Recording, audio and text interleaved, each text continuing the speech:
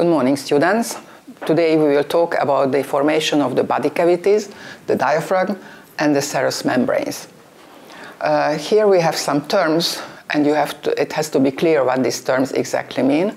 So we have three serous membranes, like the pleura, the pericardium, and the peritoneum. These are the serous membranes. Each of these has a visceral and a parietal plate. Between these two plates, we have a cavity that we call the pleural cavity, the pericardial cavity, and the peritoneal cavity.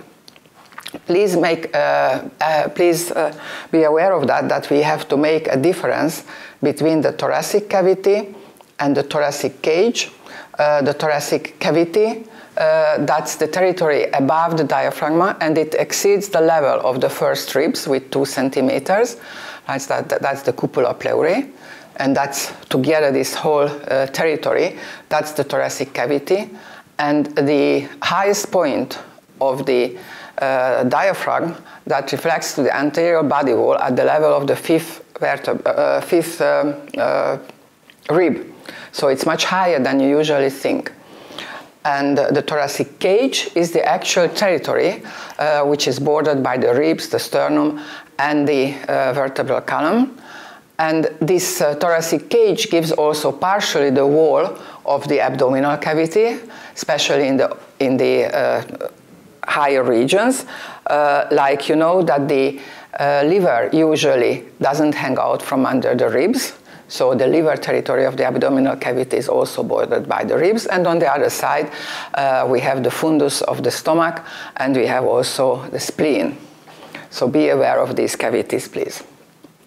Now, the, uh, the basics of all these uh, uh happenings, what we will discuss today, is the folding.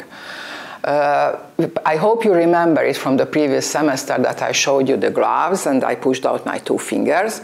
And with this, we got in the longitudinal aspect of the folding. Uh, we have a head process and a tail process.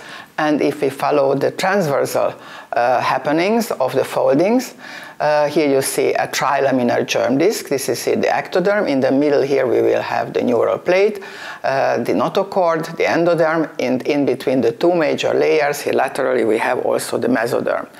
As the neural plate uh, thickens and elevates, parallelly with that also the paraxial mesoderm uh, will uh, thicken and also in the lateral plate mesoderm here holes will appear. And as the folding proceeds, these holes will fuse, will, form a cavity. This will be here the intraembryonic coelom. And initially, this intraembryonic coelom is widely connected to the extraembryonic coelom. So the two are not yet separated from each other. Meanwhile, as you see, also the neural tube closed and the surface ectoderm uh, covers now the, the, skin ectoderm covers the surface on the ecto, uh, ectodermal side. And in the mesoderm we have now the paraxial mesoderm with the somites and the intermediate mesoderm. But the lateral plate mesoderm two plates the visceral and the parietal plate they, they uh, parietal layer they border a cavity which we call now the intraembryonic coelom so this is here the intraembryonic coelom this is here the extraembryonic coelom Right? These are yet widely communicating with each other. And here you have to watch these two terms because this layer of the, of the intraembryonic mesoderm is called also somatopleura, and this layer is called somat, uh, splanchnopleural. And these layers are continuous with the extraembryonic uh, layers. So this is the extraembryonic somatopleura and the extraembryonic splanchnopleural. There is no sharp border between these two territories as there is no sharp border between the intraembryonic and extraembryonic coelom. As the folding happens, and if we make a transverse cut the, at the level of the midgut, then we may see the connection between uh, the forming gut system and the yolk sac.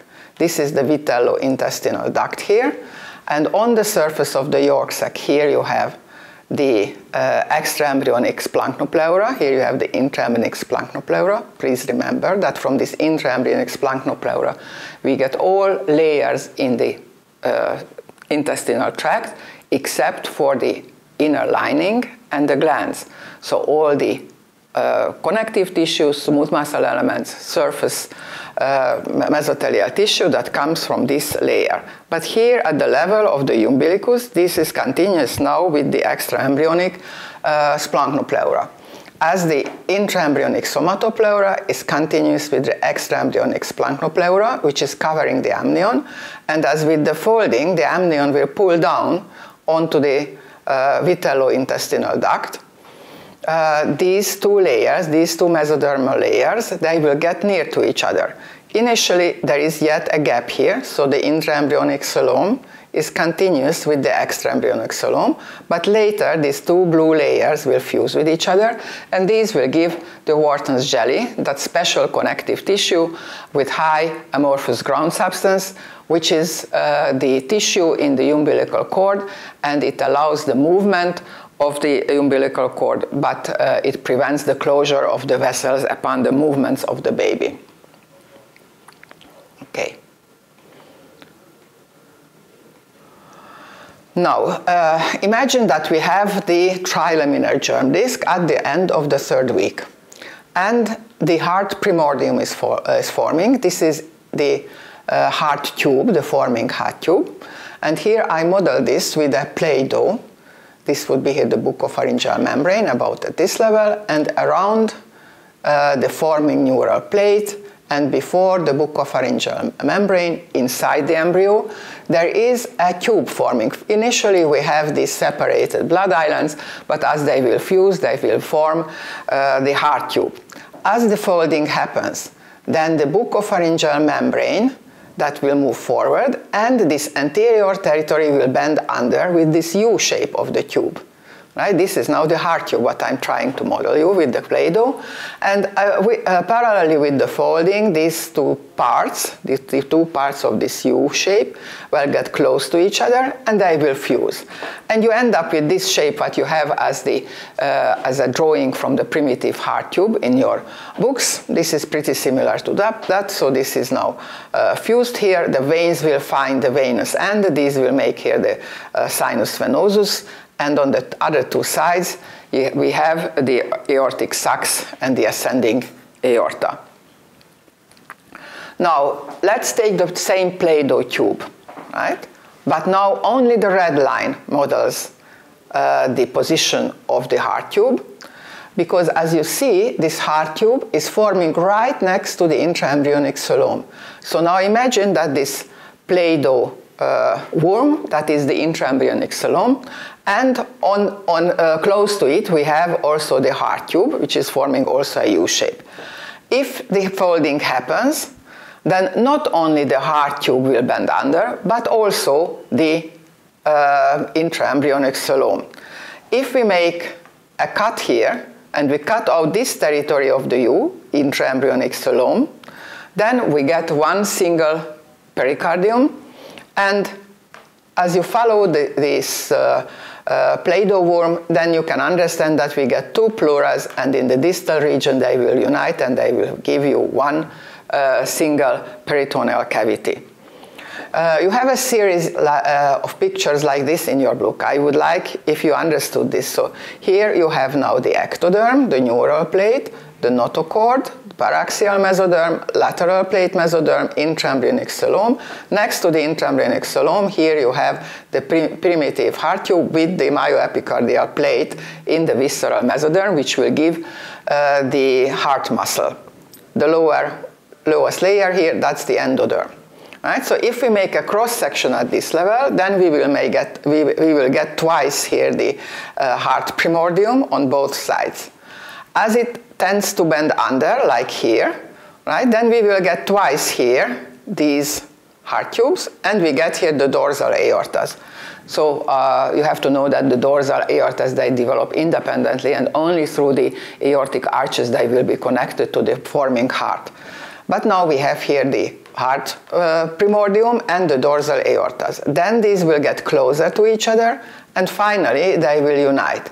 Meanwhile, the endoderm, the position of the endoderm will also change. So the endoderm pulls into the body of the baby and will form a deadened tube, which ends anteriorly by the level of the book of buccopharyngeal membrane. So this is the formation of the heart tube, which forms then parallelly, changes the position parallelly with the intraembryonic coelom. uh, just a brief uh, remembering that how the heart develops. So this is that uh, heart, primitive heart tube model that I showed you on the previous uh, slides without any coloring. So here you have the sinus venosus, the common atrium, the common ventricle, and the bulbus cordis territory. And from here, then the ascending aorta, as the aortic sacs uh, will grow further.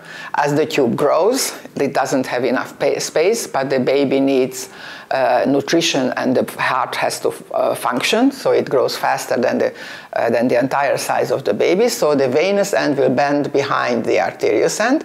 If I pull forward these two pieces, then you, you, can imitate the position of the auricles of the heart on both sides.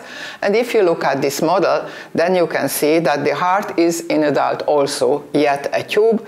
So the blood flows in from the back, it goes to the ventricles, and it flows out ventrally.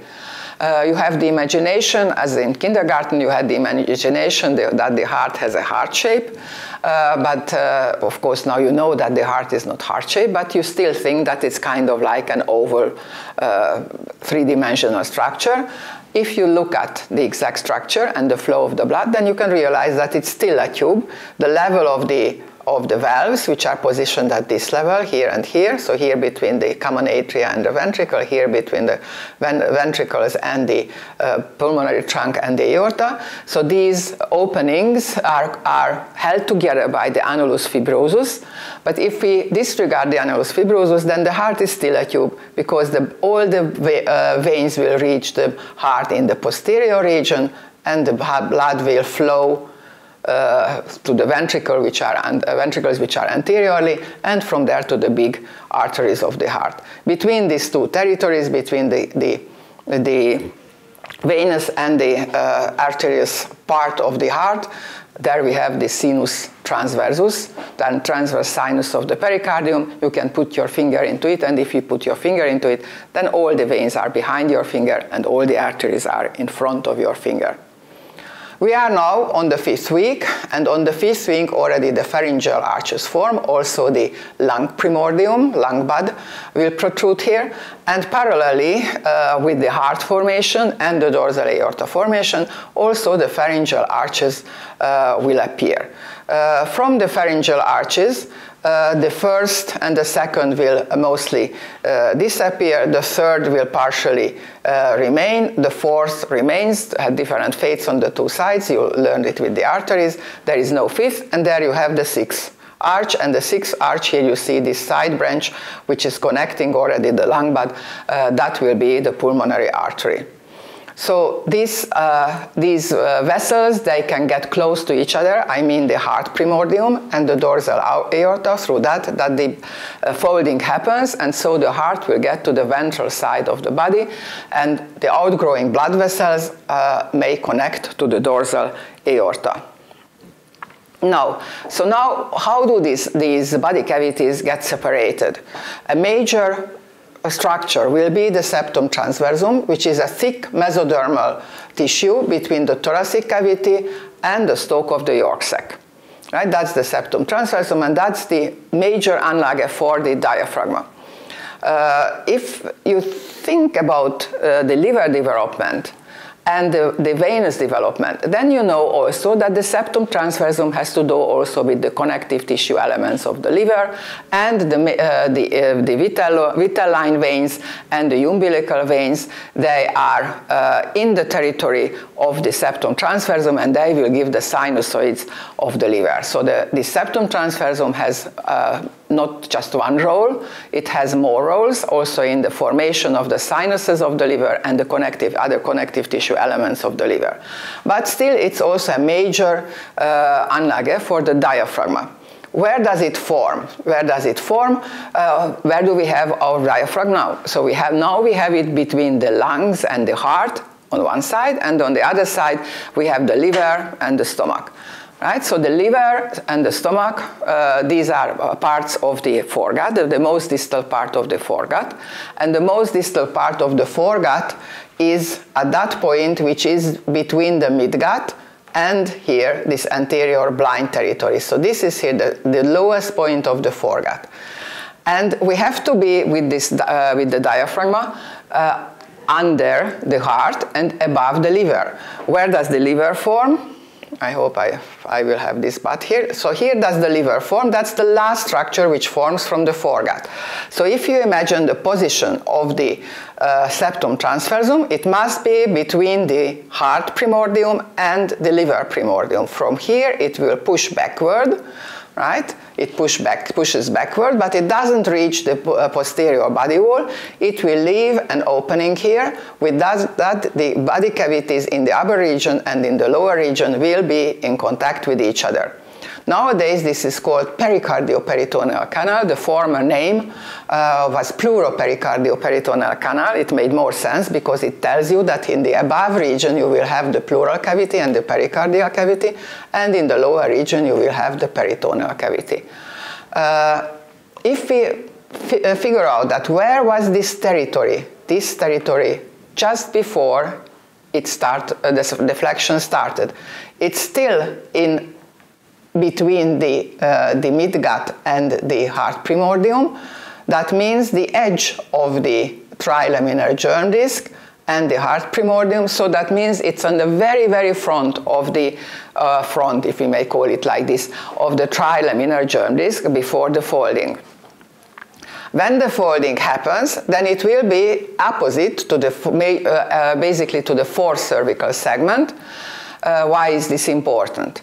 Because parallelly with all these, these uh, happenings, what I told you now, so we have the heart tube formation, we have the septum transversum formation, we have the folding, uh, but parallelly with all these happenings, also the segmentation started in the, in the paraxial mesoderm, and you know that the paraxial mesoderm will have the myotome, uh, uh, the sclerotome, and the dermatome cells. For us now, the myotome cells are most interesting. So these myotome cells in the fourth segment will be just opposite to the septum transversum. So the myotome cells will invade the septum transversum and we know that all skeletal muscle comes from the myotome cells. So we need the myotome cells in order to have muscle in the diaphragm. So we get the myotome cells mostly from the fourth, a little bit from the third and fifth uh, cervical segments. This also explains uh, the innervation of the diaphragm you know that the, inner, the, innervation comes from the phrenic nerve, and we have that uh, little verse in English that C345 keeps the diaphragm alive. So that's how you can know that uh, it comes from these uh, segments, also the myotome cells and also the innervation. Uh, so uh, to turn back to this uh, territory, uh, then we see here the septum transversum uh, pushing from ventrally in the direction of the dorsal body wall, and we know that this wasn't closed perfectly. Above this territory, the heart will develop, and from the foregut, as you showed you already on the previous figure, the lung bud will start to grow out, then it divides, it does its di dichotomic divisions, and the lung will develop here. Uh, this territory is the stalk of the yolk sac, so you see that the septum transversum is between the, uh, the uh, heart and the uh, stalk of the yolk sac. So this is in, now in the territory of the thoracic cavity. Now the lungs begin to expand uh, into the body wall mesenchyme uh, in all directions. So it will go ventrally, laterally, and dorsally. With this, it will pull onto itself, onto the developing lung, one layer of the serous membrane in this region, and that we will call later the pleura. You see the formation of the aorta here. Now, at this stage, we already have just one aorta. Initially, for a short period, we have two dorsal aortas. Now they are already united. We have one aorta. And uh, we also have here uh, the, the, the, rest of the foregut. Uh, now our job is to separate in above the, uh, the septum transversum to, how, uh, to understand how pleural cavity and pericardial cavity do get separated. Uh, to the heart, major big blood vessels will return, like for example the common cardinal vein ductus cuvieri or common cardinal vein. as this vessel returns to the heart, it will pull in from the lateral body wall a plate, which we call the pleuropericardial plate. The name says that it will separate the pleural cavity from the pericardial uh, cavity. Uh, this plate will pull in, like it gets closer and closer to each other. Finally, these two layers will here unite. With this, the uh, pericardial sac will get separated from the pleural cavities, but these two other plates will also unite, but not with each other, but with the visceral plate of the lungs. So we get two separate pleural sacs at this point. Uh, embedded into the pleuropericardial plate, there is also the uh, phrenic nerve. And if you remember the dissection of the uh, mediastinum, then you remember the, that the phrenic nerve was embedded into the fibrous layer of the pericardium. So actually it runs between the two fibrous layers of the pleura and the pericardium. Just the fibrous layer of the pericardium is thicker and it has a closer relationship with that. So this is the final position. You, you may understand it from the developmental uh, history. And this was my first picture, a nice old picture about the development of the body cavities. And actually, as you see, it's the same as what we show you later. Here you see the lungs, here you see the pleural uh, pericardial uh, plate, and here you see the heart. That's the same uh, information as on that other picture. Okay, so uh, how does uh, then how is then the, the, formation of the diaphragma uh, completed? Uh, we have this uh, pleuropericardio-peritoneal canal, which is yet open.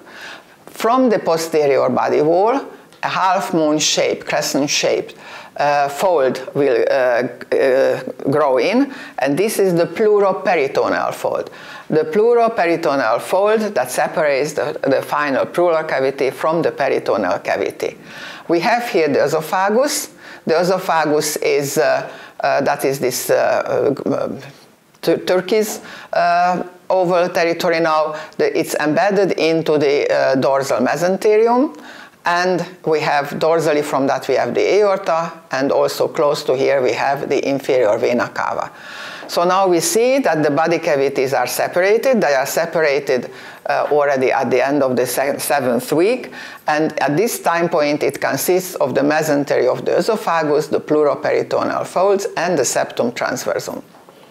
Uh, in the fourth month, end of third month, beginning fourth month, also mesenchyme from the thoracic wall, from the body wall, uh, will contribute to these uh, connective tissue ter territories. Uh, this is what explains that in the sensory innervation, only the sensory innervation, uh, the, also the intercostal nerves, uh, nerves will participate. Uh, as I told you at the beginning, when the septum transversum starts to develop, it's opposite from the, of the fourth uh, cervical uh, uh somite uh, segment.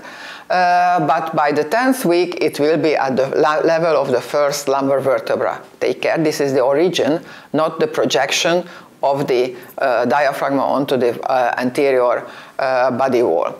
right, so the origin of the diaphragm will be at the level of the about at the level of the first lumbar vertebra.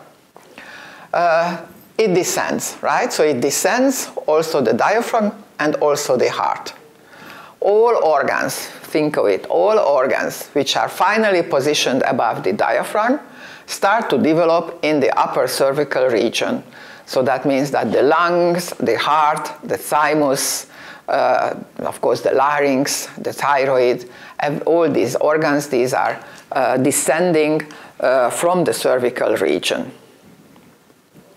So uh, I have to tell you that I, uh, until about, uh, let's say, five, eight years ago, when the newest edition of, at that time, newest edition of the English Langman book uh, explained about the development of the uh, skeletal muscle uh, using the term patterning and explained what this, why is this patterning so important, I had always some problems with the, with the development of the, of the diaphragm. Every year I checked on it that whether I can really understand it, that how it happens happens. Uh, and at that time, I found a quote uh, that was 15 years ago about that uh, uh, I would be happy to give a pound to everyone who really understands the development of the diaphragm if in return I received a pound from everyone who has who was merely committed to the official description and those diagrams to memory.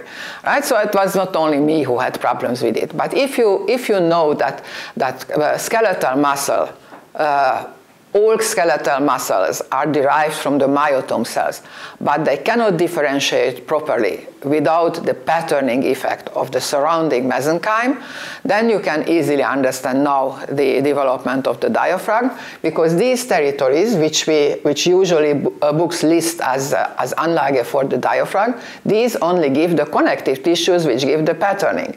So we have the, the mesentery of the esophagus, we have the septum transversum, we have the pleuroperitoneal membrane, we have the body wall. These are the mesenchymal territories, which will give the patterning of the, to the myotomes which come from the cervical somites. Okay, so if a complicated system like this has to form, then of course we will have also sometimes problems. What may be these problems? We may have esophageal hernias.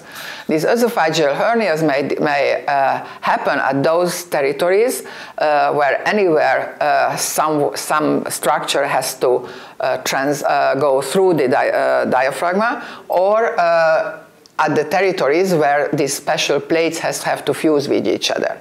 So, so we may have a parasternal hernia. Uh, this is at the territory between the sternal and the costal part, and here the, uh, the uh, internal thoracic artery goes through and forms the superior epigastric artery. Uh, this is usually a smaller uh, hernia. It usually doesn't cause major problems. Uh, esophageal hernia, that's around the loop that's in the territory of the loop which surrounds the cardiac region. Uh, this usually uh, is not a, a, a, hernia which is a malformation at birth. Usually, uh, because of the looseness of this loop, this happens later in life and it may uh, uh, cause serious problems to the, uh, to the patients. Sometimes uh, if it's pinched in, then it may imitate the symptoms of a heart infarct. Uh, but a major problem is that if the, uh, if the uh, pleuropericardio-peritoneal canal doesn't close uh, in, uh, in this posterior territory. This posterior territory, the remnant of it, you can see, see here at the lumbocostal triangle between the lumbar part and the costal part of the diaphragm. So if, you, if we see the posterior body wall dissected, then in this region we can see a little territory where, where, it's a connect, where there is a connective tissue plate only. Normally nothing uh, will uh, step through here, but if this doesn't close, then uh, the intestinal intestines of the baby, usually on the left side, 90% on the left side, they will be pushed up into the thoracic uh, uh, cavity and they will push all the organs in the thoracic cavity to the right. With this, they don't allow the development of the lung. Uh, if they wouldn't allow the development of the heart, and sure, surely that might be also a problem, then the baby wouldn't survive the intrauterine life because without circulation couldn't survive. But it, if, if, it allows the development of the heart, but it doesn't allow the development of the lungs, that means that uh, uh, when the baby is born, that's uh, not compatible with life because doesn't have a functioning, distendable lung tissue scientists haven't agreed yet that which is the first order problem. Uh, it may be uh, that the, uh, the formation of the pleuroperitoneal fold is the, is, the, is the number one problem, and because of this, uh, then the diaphragm doesn't close and the intestines may herniate into the thoracic uh, cavity, or on the other hand, it may be also that the lungs don't develop well and the lung stimulation, the, the, normally growing lung would be needed uh, to close this opening and uh, it may be also the problem. The end effect is the same. At the end, the baby doesn't have a functioning lung. Uh, heroic intervention is in this case in, if they uh, diagnose it with the ultrasound examination that in utero they close the trachea and with this they, they, uh, they keep the fluid which is, uh, which is uh, uh, produced by the lungs of the baby. They keep inside, and with that, they give some more space for lung development. But this is usually not not not a good prognosis. This kind of of malformation. Here you see a malformation of the same uh, problem. So the, the, the bowels and the stomach is in the thoracic cavity. Here you see a small lung. Uh, and on the other picture, that's a uh, an X-ray picture uh, from our university. It is at least 30 years old, might be older somewhat, uh, which was the exception. So in this case, the hernia happened on the right side.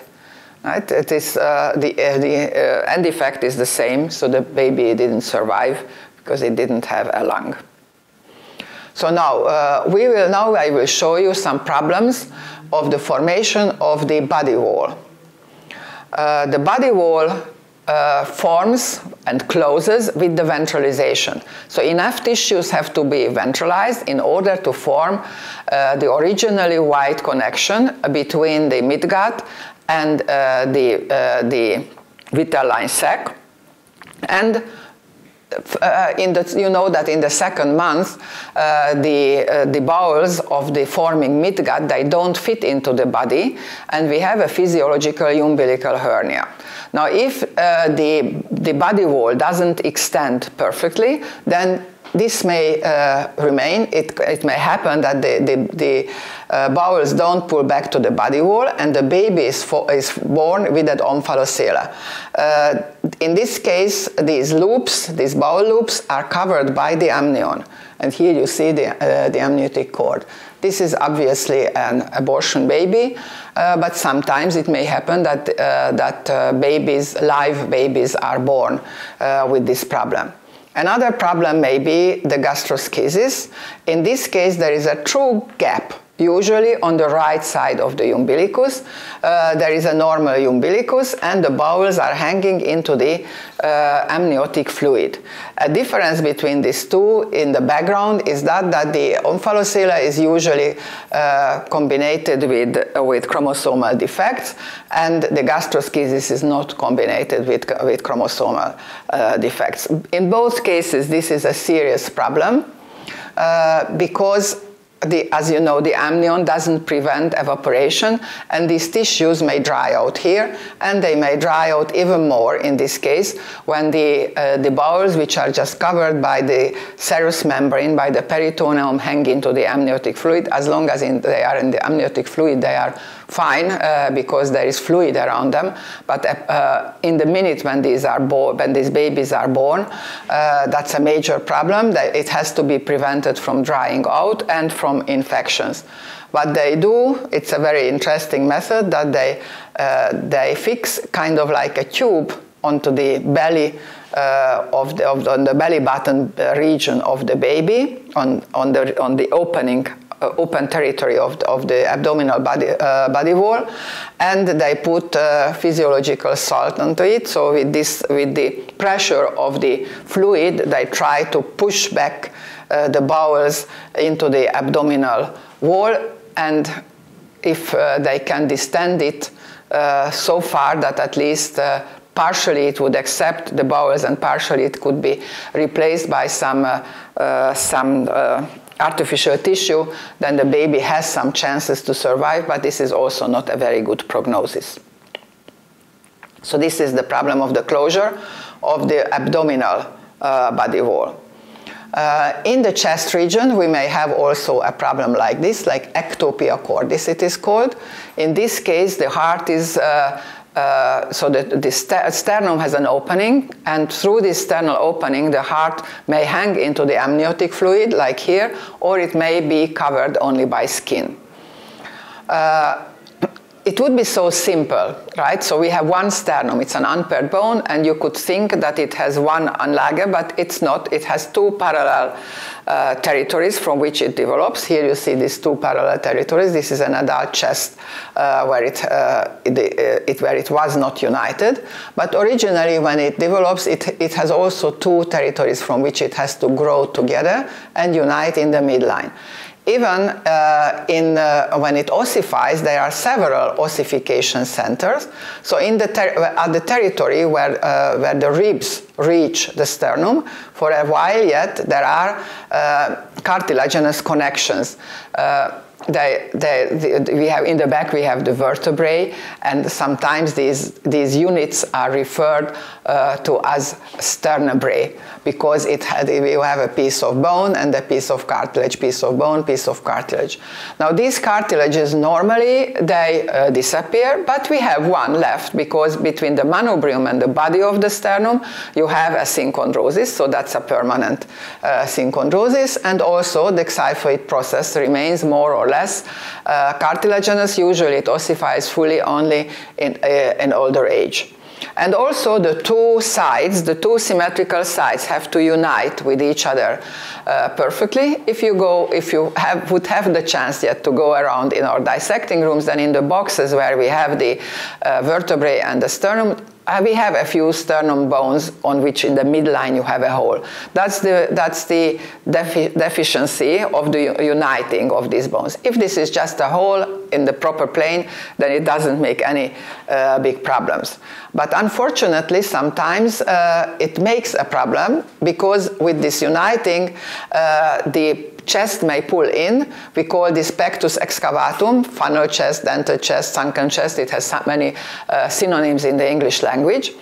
And you could think that, okay, this is a cosmetic problem, it doesn't look very good, but the problem is not that only, that it's cosmetically it doesn't uh, look very good. It's also a problem uh, that this uh, indented chest, the indentation, makes a pressure onto the lungs and onto the heart. So with this, then the breathing and also the pulmonary circulation uh, may have a problem. So this is also a physiological problem. Because of this, it has to be operated.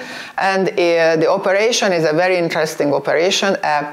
A beam of steel plate is uh, driven in on one side and driven out on the other side. And when it's inside the chest, and then this beam, this beam is folded anteriorly, and as it's folded anteriorly, with that they can push out uh, this indented territory. Sometimes they need even two beams to push it out perfectly. Uh, this would allow more space for the heart and lungs to function, and if those ribs, uh, which are fixed by this beam, cannot work, uh, cannot move, that's not that big of a problem. Uh, the rest of the uh, ribs can do yet the, the movements. the opposite to this uh, uh, malformation is the pectus carinatum, that's the pigeon chest or bird chest. In this case, uh, the, not, there is not an indentation, but it's pointed anteriorly uh, the upon the uniting of these two territories from which the, the sternum forms. Uh, this is uh, usually a lesser problem physiologically, but it may cause also breathing uh, and circulatory problems. And now we will briefly talk about the serous membranes. The ser about the serous membranes, you had an anatomy class, uh, and uh, you, you saw it also in the body. So basically, in the abdominal territory with the serous membranes, uh, we have the case that we have a tube, which is the bowel. Uh, it's covered by the, the visceral plate of the serous membrane. Many times it has a double plate connection to the parietal plate. In this double plate, the blood vessels may reach the bowel. So this is a, a very important thing that these, these uh, sometimes we call them ligaments, sometimes we call them meso whatever, like mesoappendix, mesenterium, mesocolon. So these territories, they give a route for the vessels to reach the bowels. Uh, and uh, the serous membranes themselves, they originate from the lining of the intraembryonic coelom. So on this picture, this is this, this inner black line, which is along this gray uh, territory. So this is here the visceral peritoneum, that's the parietal peritoneum. Versus the peritoneum, in the abdominal region, we have uh, uh, several possibilities. There are organs which have nothing to do with the peritoneum. There are the so-called, these are the so-called primary retroperitoneal organs. Then we have some organs which are pushed into the peritoneum so deeply that this double plate, it tends to close behind them. These we call intraperitoneal. If we split on hair, then actually we have practically nothing what is intraperitoneal because this is also outside the peritoneum, just it's pushed in so far that this neck, neck piece of peritoneum uh, can form and it allows the blood vessels to go, go to the uh, bowels. Then the third variation is that when originally all organs were intraperitoneal, but some organs uh, are sliding backward and they get connected again wider uh, with the, with the uh, body wall connective tissue. These are the so-called secondary retroperitoneal organs. Like for example on this picture here you see a loop of the small intestine, it has um, the mesentery, so this would be here an intraperitoneal organ, but this is here the colon ascendens descendens, and these are secondary retroperitoneal organs. Uh, it's also interesting to follow the position of the of the uh, intestinal tract versus the peritoneum because it, uh, if it's uh, secondary retroperitoneal, it's better fixed. So it gives a better fixation to that organ. If it's intraperitoneal, then it gives, uh, then it allows more movement. And this varies very uh, nicely through the, through the uh, entire uh, tube system. So the stomach, uh, that's intraperitoneal, but a big part of the duodenum is retroperitoneal, then the rest of the small intestine is intraperitoneal. The colon ascendens is retroperitoneal, colon transversum is intraperitoneal, colon transversum again retroperitoneal, colon sigmoideum intraperitoneal, and the rectum is retro and infraperitoneal. So one part is retroperitoneal always, the next is intraperitoneal, and with this then the bowels can move relatively freely in the abdominal cavity. Yeah, so we have a ventral mesenterium and a dorsal mesenterium. It's uh, usually it's described so that the ventral mesenterium uh, that's uh, standing there empty and waiting the development of the liver, but uh, it's the opposite way around. So there is there is no ventral mesenterium. It's the liver bud which pulls down for itself this ventral mesenterium. At the end, we have a ventral mesenterium. So what comes from this territory, uh, what originates from this territory, which is between the stomach and the liver, that will be the uh, lesser omentum. So the lesser omentum develops from a part of this ventral uh, mesentery. Uh, those territories which are connected to the greater curvature of the stomach, here we have many, many uh, pieces, what we call with different ligaments, but keep in mind that these are continuous with each other, so there is no border, and they smoothly go, one goes into the, uh, one continues into the other. Uh, so from the uh, greater curvature uh, fundus region, the gastrophrenic ligament connects to the, to the diaphragma. Actually, this is a double plate of peritoneum which reaches the parietal peritoneum at the diaphragma level. Then there is a plate between the, uh, the stomach and the liver, that's the gastrosplenic ligament, and another plate, the gastrosplenic, uh, uh, the, the, the ligament that connects to the uh, diaphragma.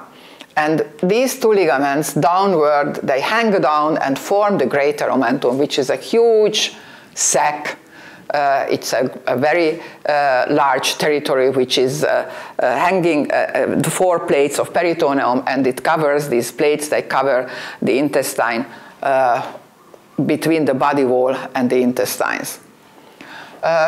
behind the stomach, we have the bursa omentalis, the lesser sac, and a secondary retroperitoneal organ is also the, the pancreas, where what do we have there in the retroperitoneum? There we have the, uh, the splenic artery, which, is, which runs retroperitoneally. And from the retroperitoneum, it can reach the spleen through the phrenicosplenic ligament. And it reaches the, uh, the spleen at the hilum and also to this hilum territory. Uh, the gastrosplenic ligament will connect. And this gastrosplenic ligament allows that from the splenic artery we have the, the short gastric arteries and we have the left gastroepiploic artery. So they will go to, through these connections uh, to the uh, greater curvature territory. How does this uh, uh, omentum majus form? So from the, originally we had an intraperitoneal stomach, and originally it had this ventral mesenterium, which was connected to the liver, and let's say a short, which is not that short already in this picture, a short uh, dorsal mesentery. Now imagine that I'm pushing my finger into this territory, like this arrow shows, and I'm pushing it, pushing it down. What happens? Then from the greater curvature, two plates will run down, two plates will go back, and two plates reach the posterior body wall. Secondarily, it will, these posterior two plates will grow together with the colon transversum. And secondarily, they will reach the, the uh, posterior body wall together with the, mes uh, with the mesocolon transversum. But that's already a secondary structure that they fuse together there. Uh, okay, so this is how the greater omentum uh, will form. Uh, men are perfect. All men know this, all women know this, but only from one point of view, uh, that they have a per perfect peritoneal sac, there are no holes on it. Uh, women, they must have holes on the peritoneal sac, on the, on the, and uh, in women we have really structures which look really into the cavity of the peritoneum, and these will be the two ovaries, right? You know that you have the, uh, that in women there are the, there is the free border of the ovary. The free border of the ovary looks into the true peritoneal cavity, and because the ovulation happens there, then also the uterine tubes will have to look into this peritoneal cavity, otherwise the egg cell wouldn't get into the uterine tube. So the, both uterine tubes open freely into the peritoneal cavity and both ovarian, ovarian surfaces where the ovulation happens, this free surface, that also looks into the peritoneal cavity. I used to tell it, of course this is a joke, that if you would let an ant into the uh, vagina of a female, it could climb up through the cervix, through the cavity of the uterus, through the uterine tube, and could walk around in the true peritoneal cavity. Right? The sperm cells do this, uh, the same story uh, sometimes. Okay. Uh, how can we get access to the uh, to the uh, bursa omentalis? I wanted to tell you this uh, through the um, mesocolon transversum or the, through the gastrocolic ligament. The gastrocolic ligament is actually this uppermost region of the uh, omentum majus. Uh, previously, through the through the epiploic foramen, there was no possibility to get close to the to the pancreas. nowadays, with the uh, with the help of, of uh, endoscopic techniques, this is also possible. The peritoneal cavity has uh, pouches, uh, and these pouches may be sometimes important. Sometimes we have to control whether in these pouches there is fluid or not. Uh, it may be uh, the, the rectovesical pouch or the rectouterine pouch in the lesser pelvis, that's one territory. That has had always an importance because it can be palpated uh, either through the rectum or through the vagina. So that was already long known that here fluid can, can, uh, can, can get collected and it was also, uh, there was the possibility to have it diagnosed. But uh, there, this pouch, which is behind the liver, where the parietal plate of the peritoneum will go over to the coronary ligament of the liver, that's also a territory here, uh, the hepatorenal pouch. Uh, in, uh, uh, this is also a territory where a doctor may see fluid for seeing the fluid, of course, the fluids will flow downward. So it has to be always close to the uh, deepest point of, of uh, the actual position of the body. Right? In the Trendelenburg position, this territory was palpable, but this territory was not palpable because it's behind the ribs. But nowadays on CT and MR pictures, it's, it's, uh, it's possible to see it right? So it get, got more importance now with the today's diagnostic methods to check the hepatorenal pouch for possible fluids in certain cases. Also, the peritoneal cavity gives the, the, the, possibility for peritoneal dialysis. So the peritoneal dialysis uh, may be a help for patients who, have, who don't have access to uh, to dialysis centers, so they can do this al uh, not alone, with probably with the help of someone. Uh, that uh, they will uh, let the solution, the dialysing solution, into the peritoneal cavity. The peritoneum functions as a semi-permeable membrane. Uh, it will stay inside for a while, and then it can get can, can get drained. This can be done also during night, and may be possible. Therapeutic, therapeutic method for those patients who have kidney problems. Well, thank you for your attention.